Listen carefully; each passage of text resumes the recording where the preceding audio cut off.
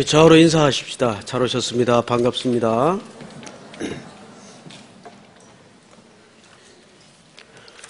어, 오늘은 사무엘상 12장 전체를 보겠는데요. 어, 사무엘서 전체 속에 에, 오늘은 사실 이스라엘 역사의 에, 분기점이 되는 아주 중요한 어, 사건이 여기 등장을 합니다.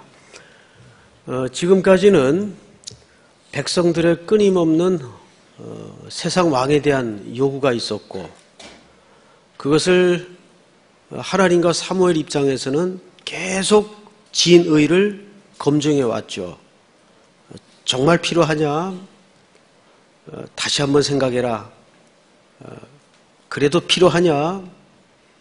끊임없이 몇 차례에 걸쳐서 여러 가지 사인을 보내시고 또 검증을 하시는 가운데 백성들의 마음이 절대 포기되지 않는다는 걸 확인했어요.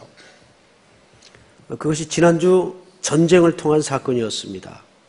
암몬의 나스가 쳐들어왔을 때 어, 이스라엘 백성들이 사울의 그 격한 분노를 통해서 하나님의 영이 임하고 어, 사울이 놀라운 전과를 거두어냅니다.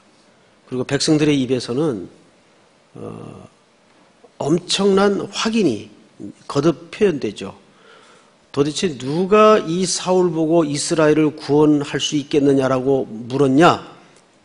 찾아내라 할 정도로 아주 사울을 향한 분위기가 전 국가적으로 굉장히 고무되어 있었습니다. 그걸 유심히 지금 사무엘이 보는 거예요. 그리고는 아 이제는 더 이상 안 되겠구나 하고서는 그 전쟁은 사실상 마지막 점검이었어요. 그 전쟁은 이스라엘이 이길 수 없는 전쟁이었어요. 그 전쟁을 통해서 하나님이 얼마나 치밀하게 이스라엘을 사랑하시고 하나님의 온전한 은혜로 승리를 주셨는가를 암몬과의 전쟁을 통해 확인시켰음에도 불구하고 백성들은 사울의 승리로 이해를 가졌습니다. 어, 그러니까 사람은 자기가 보고 싶은 것만 보고 듣고 싶은 것만 듣게 되어 있습니다. 그리고 또 하나 여기에 더하자면 절대 인간이라는 존재는 말로 설득이 되는 존재가 아닙니다. 아 뜨거워 해봐야 그때 한, 불, 한 발자국이나 두 발자국 정도 뒤로 주춤하는 것이 인간이에요. 이걸 유심히 지금 사무엘이 하나님의 편에 서서 지켜보는 거예요. 더 이상 안 되겠구나 하고 백성들을 전부 어디로 데려가냐면 길갈로 데려갑니다. 길갈은 이 가나안 땅의 삶을 시작할 때 굉장히 중요한 역사적 교훈이 있던 땅이죠. 그 길갈은 말 자체가 수레바퀴라는 뜻인데 모든 지난 애굽의 수치와 광야의 수치가 굴러갔다라는 뜻입니다. 그 길갈이에요. 동시에 그것은 앞으로 이 가나안의 삶이 전적으로 하나님의 주권 아래서 그분께 순종할 때만 행복이 보장된다는 약속이 이면에 담아진 사건이 길갈의 사건입니다. 그 길갈로 이 백성들을 모두 소집합니다. 그리고 이제 사무엘의 입장에서는 이제는 할 수 없이 여기까지 온 만큼 사울이라는 존재를 전 이스라엘 백성들 앞에 공인시키고 이제 자기는 실질적으로 역사의 무대 뒤로 퇴장을 앞두고 있는 겁니다. 그러니까 서서히 역사가 전환이 되는 시기예요. 그것이 12장이 갖는 중요한 역사적 가치입니다. 자, 그것을 어떻게 사무엘이 진행하는가를 우리는 봐야 돼요. 자, 그런데 길갈에서 백성들을 모으고 그 마지막 퇴임 설교를 할 때에 이런 표현으로 끝이 났던 거 지난주 기억을 하실 겁니다. 11장 25절을 한번 보세요. 아, 25절이 아니고 15절. 한번 같이 읽어볼까요? 시작.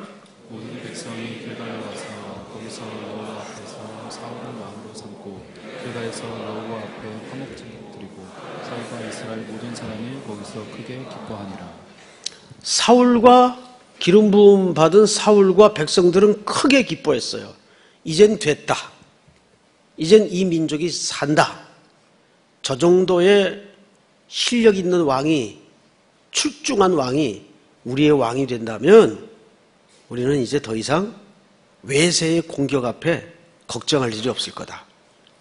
이젠 이 왕으로 우리는 든든하다. 그리고 백성과 사울이 크게 기뻐했다 그랬어. 한 사람만이 기뻐할 수 없었죠. 사무엘입니다. 그리고 그 사무엘은 이제 공식적으로 역사의 뒤안길로 사라질 마지막 설교를 백성들에게 하는 겁니다. 한번 1절을 보십시다. 12장 1절.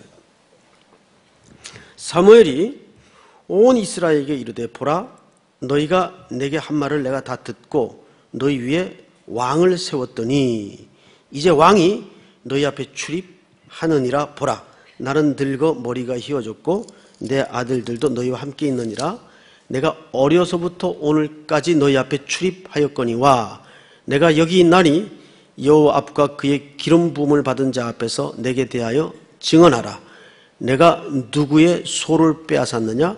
누구의 나귀를 빼앗았느냐? 누구를 속였느냐? 누구를 압제하였느냐? 내 눈을 흐리게 하는 뇌물을 누구의 손에서 받았느냐? 그리하였으면 내가 그것을 너희에게 갚으리라 하니. 자 이제 앞을 보세요. 좀 이상한 내용이 나오죠 역사의 리더, 역사의 리더십을 끝내고 이제 무대 뒤로 사라지는 이 마지막 어, 설교인데 공식적인 설교인데 사무엘이 다섯 가지에 걸쳐서 검증받기를 원해요. 첫째는 하나님 앞에. 그리고 두 번째는 기름 부음 받은 자니까 사울이죠. 이제 곧 자기 뒤를 이어서 리더십이 넘어갈 사울에게 검증받기를 원해요. 그리고 세 번째는 백성들에게 검증받기를 원하는데 여기 다섯 가지 항목을 구체적이고 자세하게 설명합니다. 내가 당신들한테 소를 뺏은 적이 있니? 나귀를 뺏은 적이 있냐? 아니면 압제를 했냐? 뇌물을 받았냐? 이렇게 검증을 합니다. 그 증언을 하라라는 말은 법적인 용어예요. 그러니까 이것은 뭔가 지금 사무엘이 물러나면서 확인을 하고 싶은 내용이 있어요. 그랬더니 백성들이 이구동성으로 똑같이 일치하게 이런 어, 인정을 해줍니다. 4절. 그들이 이르되 당신이 우리를 속이지 아니하였고 압제하지 아니하였고 누구의 손에 쓰든지 아무것도 빼앗은 것이 없나이다 하니라. 5절 다 같이 시작. 사무엘이 백성에게 이르되 너희가 내 손에서 아무것도 찾아내는 것이 없음을 여호와께서 너희에게 대하여 증언하시니 그 등록을 받은 자도 오늘 증언하느니라 하니 그들이 이르되 그가 증언하시나이다 하니라. 세 차례에 걸쳐서 삼중적으로 증언을 해줍니다.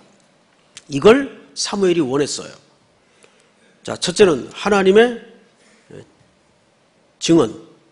두 번째, 이제 내 뒤를 이어서 왕이 될 기름 부음 받은 자, 동료죠.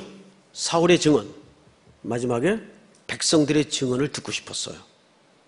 그런데 이 삼중적 증언이 일치하게 당신은 우리를 위해서 소나 나귀를 뺏은 것도 없고 압제한 적도 없고 뇌물을 받은 적도 없고 완전하게 증언을 해줍니다. 자, 문제는 아, 정말 사무엘 깨끗하게 살았구나. 이게 초점이었을까요? 그리고 물러나는 마당에 사무엘이 그 소리 듣고 싶었을까요? 여기는 조금 다른 이유가 있습니다. 두 가지 이유가 있습니다. 첫째, 첫째, 그 이유를 설명드리겠습니다. 그런데 왜 왕을 구하냐 그 말이. 그러니까 이 검증을 통해서 사무엘이 들통내고 싶었던 것이 뭘까요? 이들이 왕을 구한 동기가 얼마나 잘못되었는가를 드러내는 겁니다. 하나님도 사무엘의 오랜 세월의 리더십에 대해서 흠을 찾지 못했어요. 지금 뒤이어 왕이 될 사울도 흠을 찾지 못했어요. 그리고 정작 그 섬김의 대상이었던 백성들도 흠을 찾지 못했다고 법적인 용어로 증언을 해줍니다. 왜 왕을 구해요? 그렇다면 이들이 구했던 왕을 구하는 동기는 잘못됐다는 얘기예요. 동시에 여기 두 번째 이유가 뭘까요? 첫째는 그럼에도 불구하고 이 땅에 눈에 보이는 통치력을 구했던 너희의 동기는 순전하지 못했다. 그 동기가 잘못됐다. 라는 것을 들통내면서 동시에 그러니 왕을 구한 것은 누구의 책임이다? 이 왕을 구해서 이후에 벌어지는 모든 결과에 대해서는 책임 소재 분명히 하자. 누구 책임입니까? 백성들의 책임이란 뜻입니다. 이제 왕을 통해서 감당돼야 될 그 백성들의 책임이 분명하다는 것을 사무엘이 자기 검증을 통해서 밝히는 겁니다. 근데 여기 원문에 보면 이 다섯 가지 항목을 말할 때마다 이렇게 되어 있어요. 그 부분을 다시 한번 읽어보겠습니다. 3절을 보세요.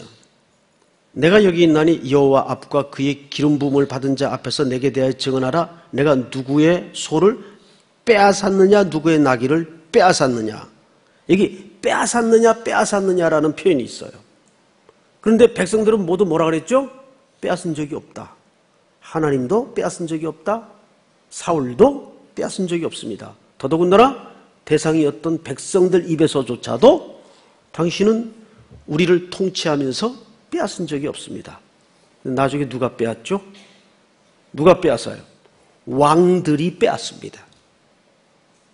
그거를 일찍이 사무엘이 경고했어요. 그래서 후에 이 왕을 불순한 동기로 구했던 너희들이 그 동기가 불순하지 못했고 두 번째는 그 불순하게 구한 왕들이 너희들에게 어떤 부메랑 역할로 결과가 돌아올 것인가에 대한 분명한 책임 소재를 여기에서 가리는 겁니다. 결국 눈에 보이는 세상의 왕들이 이 백성들의 것들을 나중에 다 빼앗아 갑니다. 착취해 갑니다. 그게 역사의 흐름이었어요. 자, 이제 성경을 보십시다. 6절을 보세요. 그리고 이제 그렇게 분명한 불순한 동기를 드러내면서 책임 소지를 확인한 후에 이제 사무엘은 백성들에게 하나님의 언약에 대해서 그럼에도 불구하고 다시 각인을 시킵니다. 6절부터 하나님의 언약을 갱신시키는 장면이에요.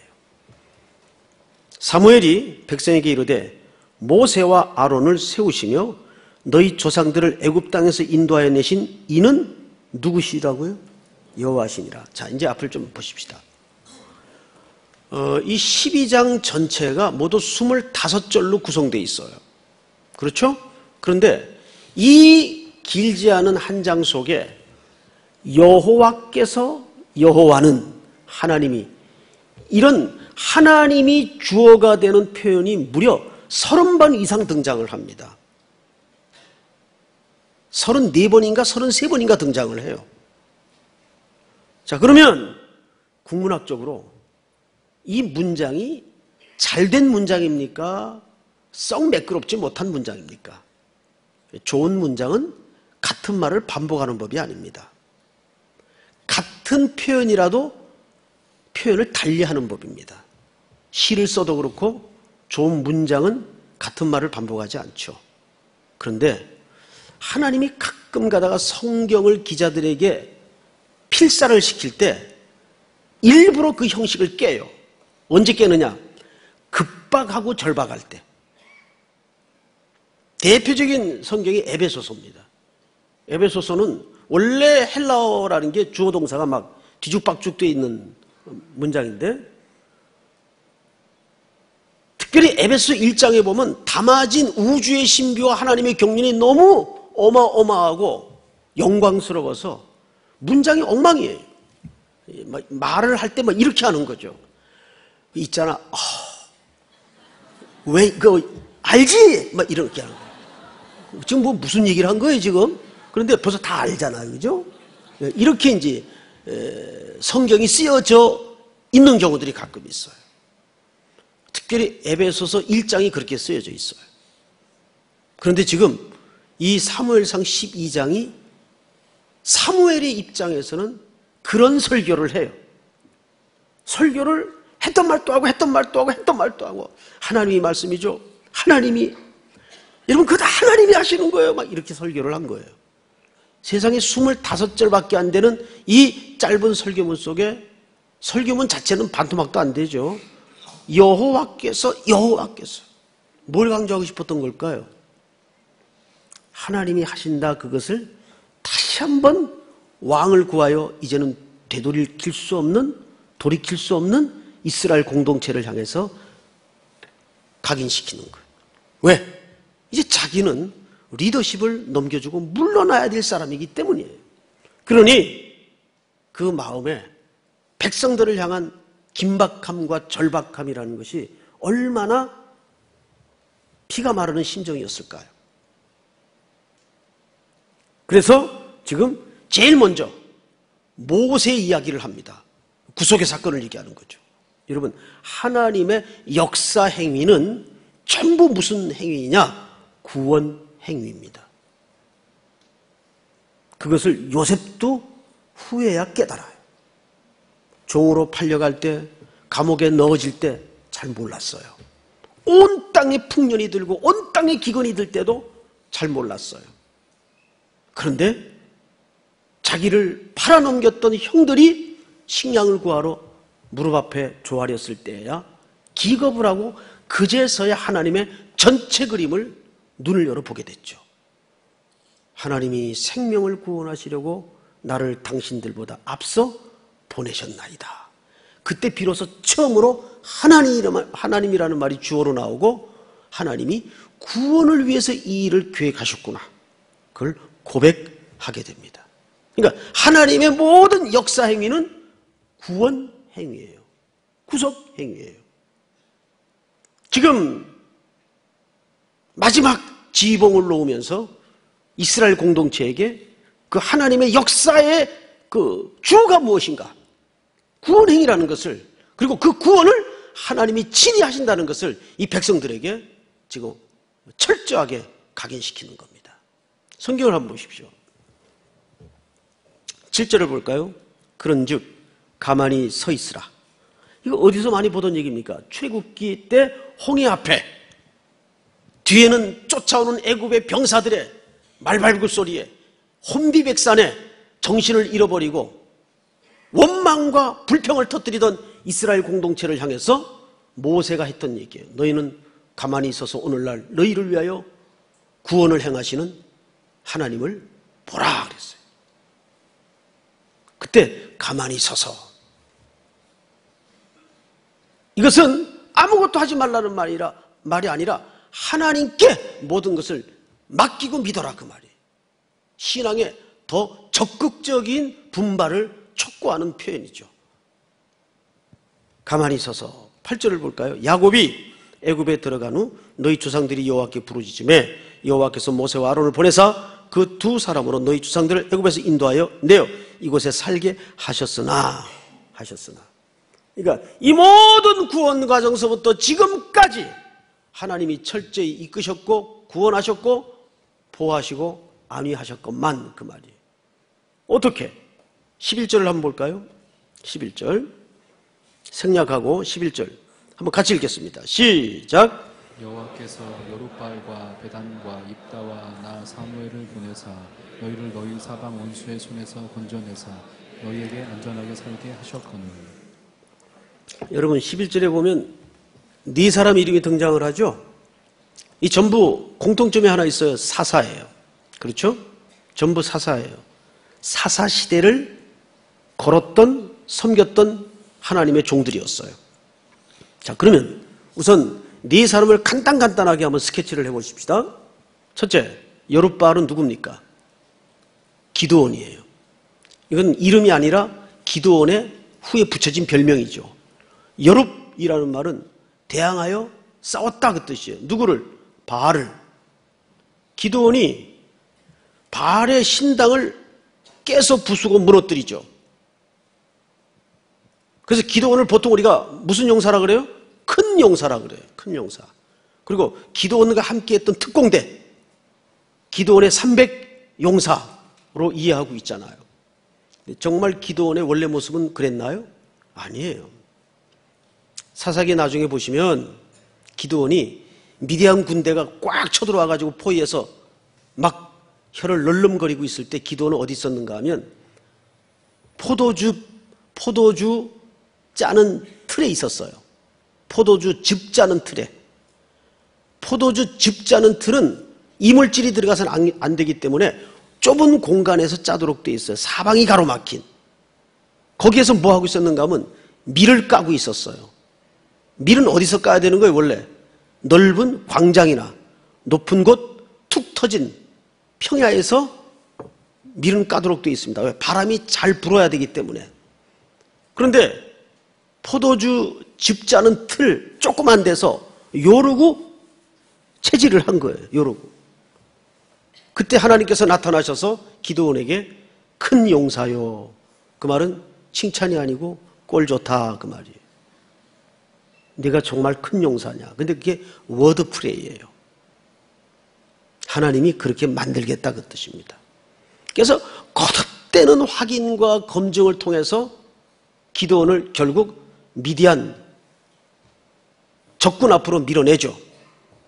몇 명을 데리고 300명을 데리고 소집된 군사는 훨씬 많았는데 하나님은 특공대를 뽑은 게 아니라 적은 숫자를 뽑았을 뿐이에요. 왜?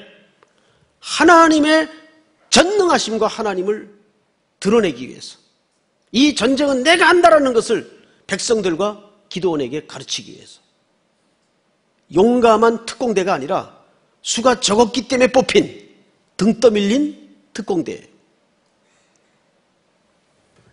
이렇게 평야의 메뚜기처럼 펼쳐져 있는 미대한 군대를 섬멸해버립니다. 두 번째 인물이 누구예요? 성경에 보니까 11절. 여롯발과 배단 그랬어요. 배단.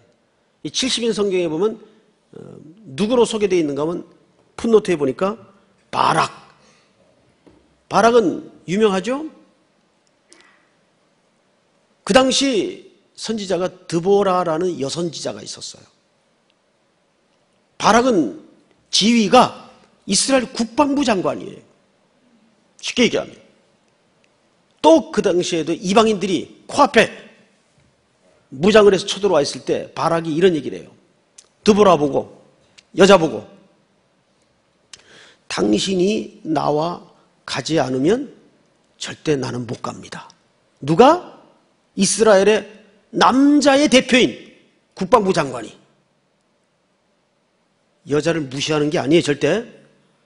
당신이 나와 함께 가지 않으면 저는 전쟁터에 못 갑니다. 이렇게 몸을 사립니다. 할수 없이 쌈 잘하는 여자 드보라가 같이 가죠. 그것은 사실상 그 당시에 이스라엘 남자들이 그 당시 여자는 수에도 안 쳐줄 정도로 취급이 안 되던 시대 아닙니까? 족보에도 들어가지 않던 시대.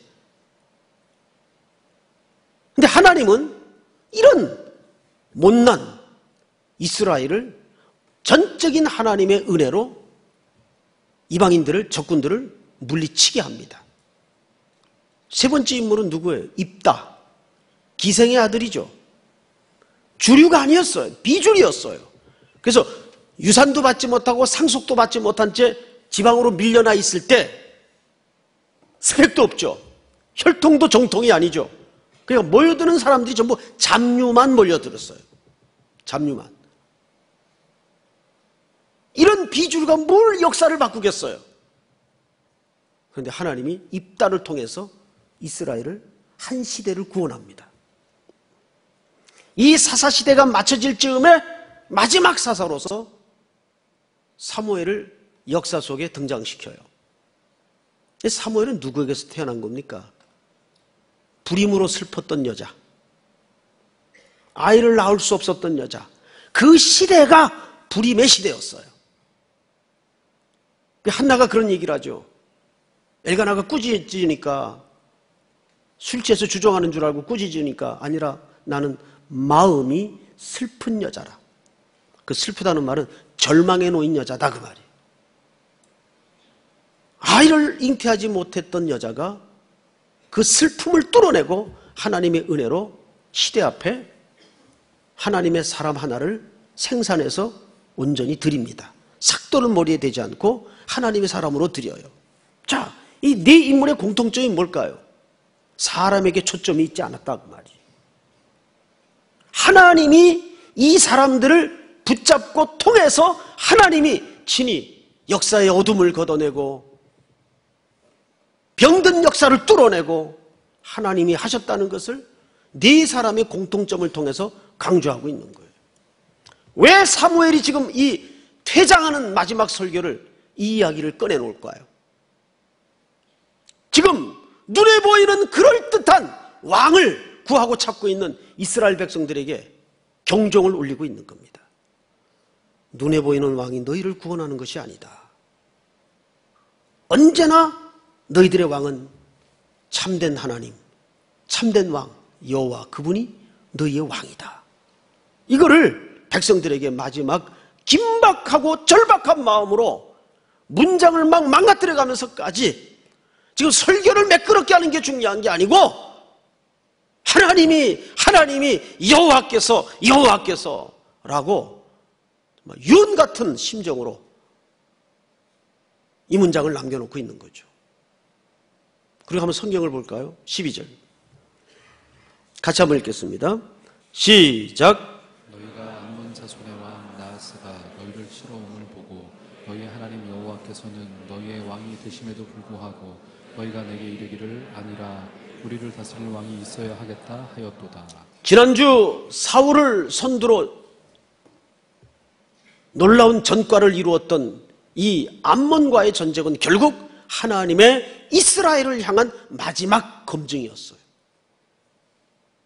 이래도 너희가 계속 끝까지 왕이 필요한가? 사실상 마지막 질문이었어요. 하나님의.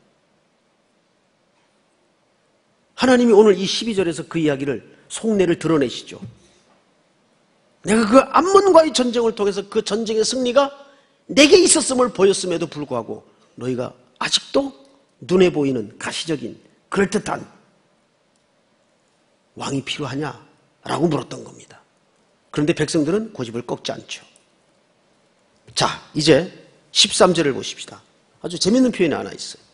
이제 너희가 구한 왕, 너희가 택한 왕을 보라.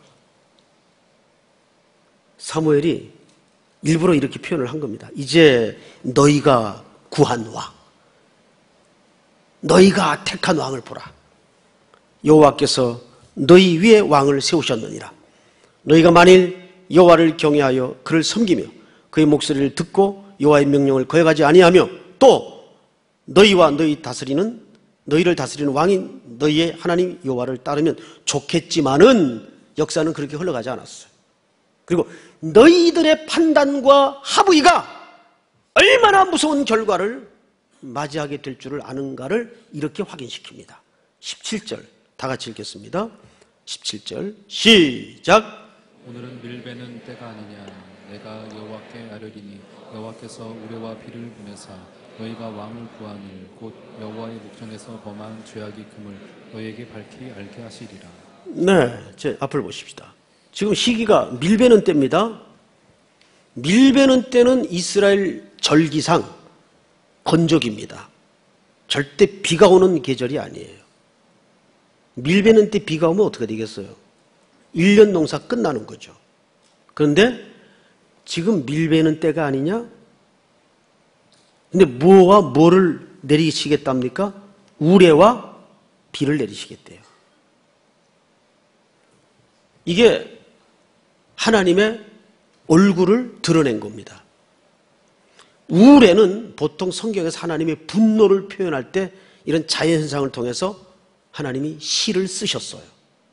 우레를 바라시고 이거는 하나님의 영광에 돌진하는 백성들을 향해서 하나님이 표정을 보이신 겁니다. 우레는 하나님의 분노의 표정이에요. 가끔 가다가 천둥이 치고 자연재해가 일어나고 이런 것들이 하나님이 이 시대를 향한 어떤 경고음으로 우리가 들을 수 있는 영적인 센스가 있어야 돼요. 이 자연을 통해서 하나님이 하나님의 마음을 드러낼 때가 있어요. 무섭죠? 밀배는 때 하나님이 우레를 통해서 비를 통해서 하나님의 마음을 표현하시는 거예요. 너희들의 합의와 결정이 참 괴롭다. 그건 내 본래의 뜻이 아니다. 그러나 일단 어떡하겠냐?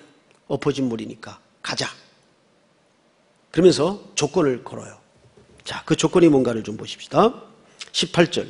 이에 사무엘이 여호와께 아뢰매 여호와께서 그날에 우리와 비를 보내시니 모든 백성이 여호와 사무엘을 크게 두려워하니라. 19절 시작. 모든 백성이 사무엘에게 이르되 당신의 종들을 위하여 당신의 하나님 여호와께 기도하여 우리가 죽지 않게 하소서. 우리가 우리의 모든 죄 왕을 구하는 악을 더하였나이다. 이제서야 처음으로 최초로 그들의 합의와 선택이 얼마나 무서운 죄를 짓고 말았는지를 정신을 차리고 깨닫게 됩니다. 뭐에 손실이 오니까? 당장 물리적인 손실이 오니까. 그제서야 정신을 차리게 돼요. 사람 별 수 없어요. 이게 최초로 왕을 구한 합의와 결과에 대한 백성들의 회개예요. 자, 그런데 이제는 역사를 되돌릴 수가 없어요. 왕도 뽑아놨고 기름도 부었어요. 전국에 공포가 된 사실입니다. 돌릴 수 없어요. 이제는 그대로 나쁜 결정이라도 가는 거예요. 그런데 하나님의 자비는 끝이 없어요. 무한하세요. 이 가운데서도 우리를 위하여 마지막 한 가닥 여지와 끈을 남겨놓으십니다. 그 대목이 22절입니다. 성경을 보십시다. 22절 여호와께서는 너희를 자기 백성으로 삼으신 것을 기뻐하셨으므로 자 이것이 자비의 출처입니다. 하나님은 우리를 자기 백성 삼으신 걸 어떻게 하셨답니까? 기뻐하셨대요. 어, 제가 천국 가서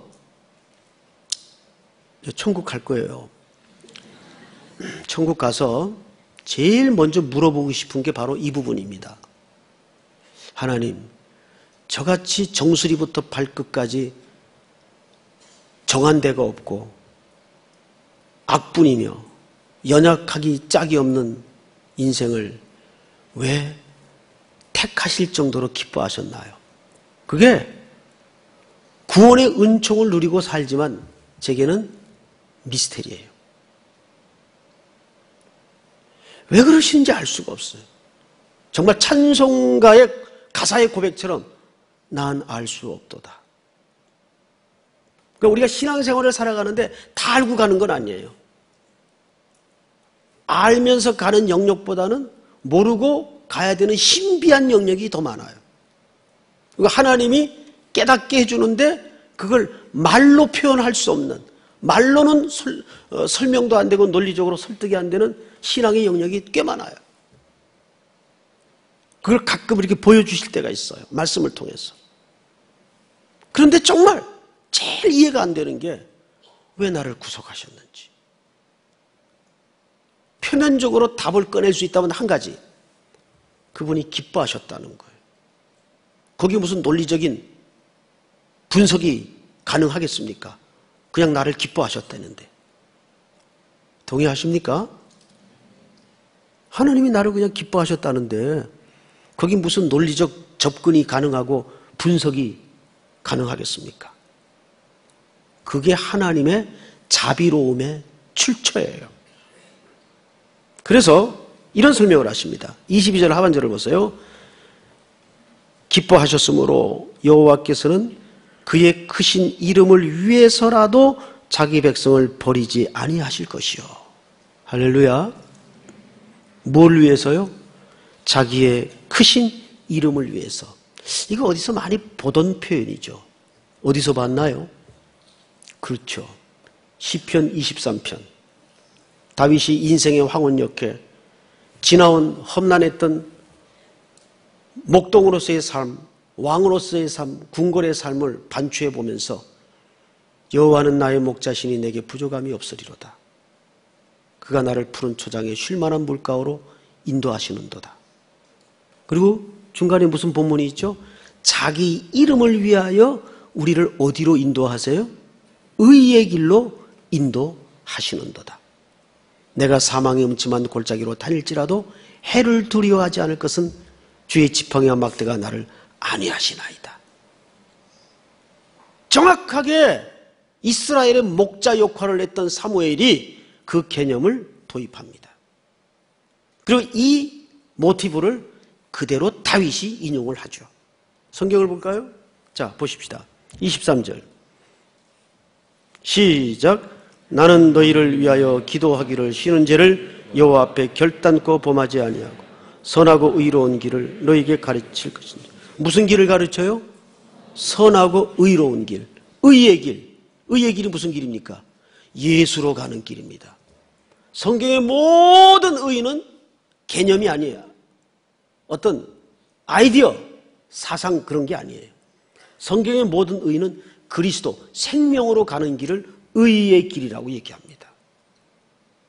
다윗이 그 시편을 통해서 누구를 계속 지향케 만듭니까? 그리스도. 누가 여호와는 나의 목자로 고백할 수 있습니까? 예수 그리스도를 구주로 고백한 자만이 나의 목자가 되시는 겁니다. 그 시편 22편은 그래서 메시아가 오셔서 받아야 될 고난을 노래한 시가 종의 노래 시편 22편입니다. 시편 22편은 전부 십자가 사건을 예표한 시로서 구절구절 보혈이 흐르고 있죠. 그 십자가의 보혈의 강을 건넌 자만이 여호와는 나의 목자시니 내게 부족함이 없으리로다.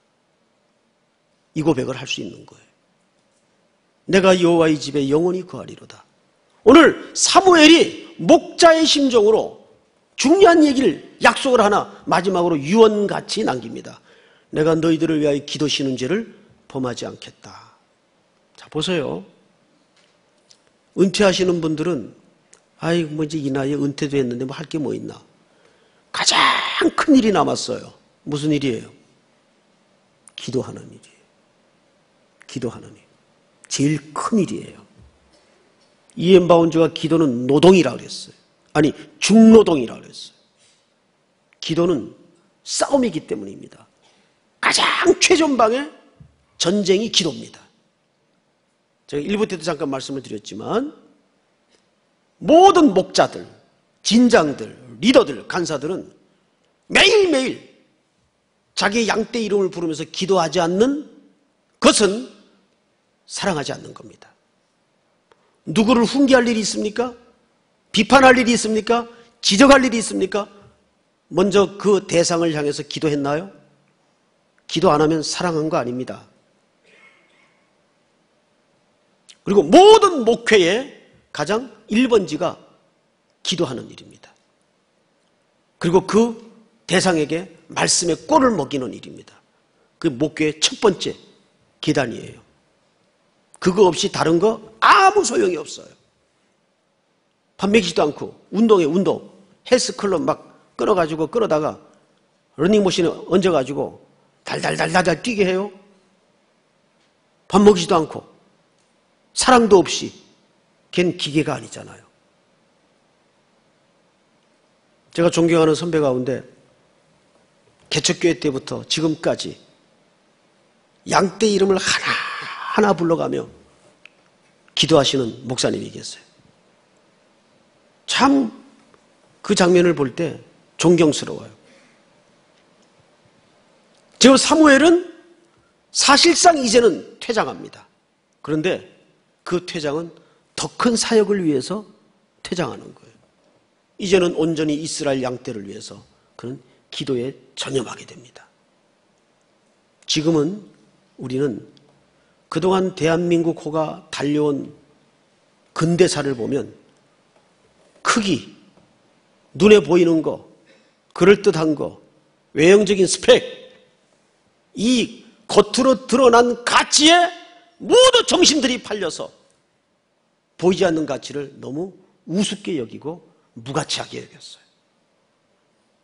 이제 그 증상들이 쌓이고 쌓여서 이제는 더 이상 그 비등점에 이르렀을 때 지금 터지기 시작하는 겁니다. 아주 모든 재앙은 항상 그 이면에 종합판이 있어요, 종합판. 여기에는 이 정신문화가 그 정신문화 이면에는 한국교회의 책임을 예외일 수가 없죠. 그 한 몫을 했다고 저는 봅니다. 지금 이스라엘 백성들이 구하는 눈에 보이는 왕, 그럴듯한 합리적인 지도력, 이거 구하고 있는 거 지금. GMP 4만 불이 뭐 이렇게 중요합니까? 그렇잖아요? 그, 그, 그, 그 숫자가 그렇게 대단한 거예요. 이제는 우리 삼일교회를 비롯해서 우리 각자가 자기 삶의 현장에서 보이지 않는 가치를 소중히 여기고 그 가장 적극적인 행위는 우리가 기도하는 일일 겁니다. 하나님 앞에 정직한 마음으로 설 수 있는 경건의 연습. 이러한 것들이 사무엘을 통해서 마지막 이원같이 이스라엘 공동체에 지금 던져지고 있는 겁니다. 이것을 오늘 이 밤에 우리가 들어야 될 엄숙한 역사의 명령으로 기억하여 여러분들이 살아갈 미래는 정말 보이지 않는 가치를 소중히 붙들고 모든 후손들이 행복한 나라에서 숨쉬고 살 수 있는 귀한 나라를 여러분들이 만들어갈 수 있기를 주님의 이름으로 축복합니다. 우리 다 일어나십시다. 이 땅의 동가서 남과부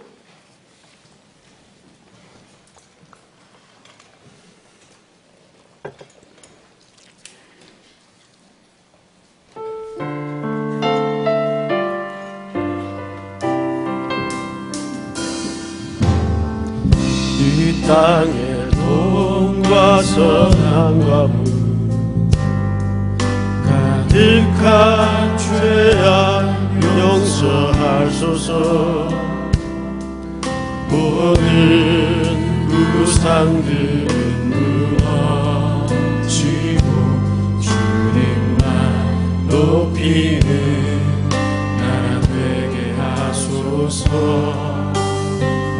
이 땅에 지친 모든 영혼 주 예수 사랑 알게 하소서. 저들의 아픔과 눈물 저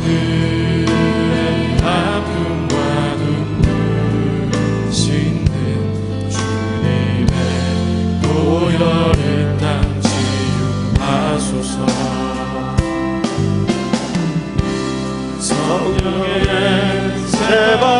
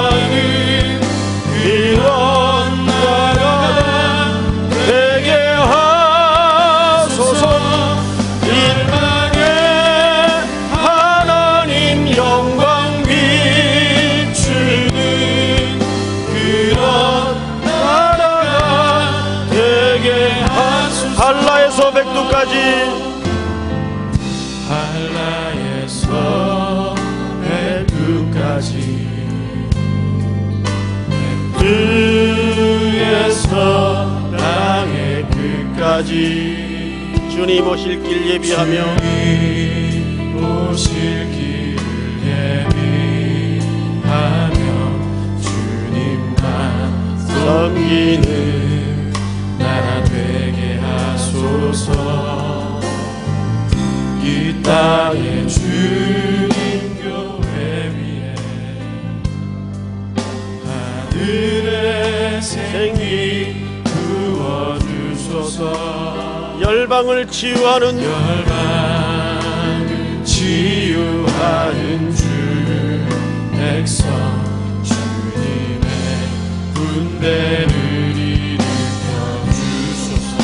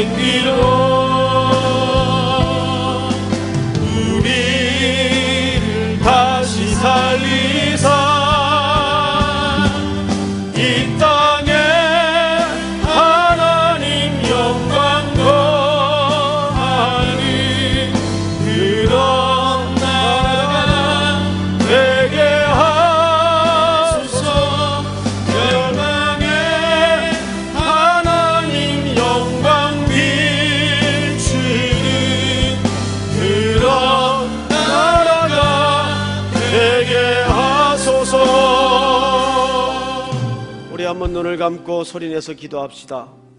오늘 주신 말씀처럼 대한민국 호가 이제는 성령의 새바람을 입어서 정말 잘 사는 나라가 아니라 새로운 나가, 나라가 되게 하여 주시옵소서. 가난하고 연약한 자들도 인간의 존엄한 가치와 대우를 받는 사회가 되게 하여 주시옵소서. 생명 경시 풍조가 만연해 있는 이 땅에 물질의 가치가 아니라 생명의 가치를 존엄히 여기는 정부가 되게 하여 주시옵소서.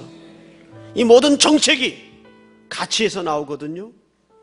어떤 가치에서 그 정책을 만드느냐가 정책의 질을 좌우합니다.